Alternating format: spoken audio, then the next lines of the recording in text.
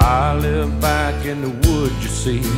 My woman and the kids and the dogs and me. I got a shotgun, a rifle, and a four-wheel drive, and a country boy can survive. Country folks can.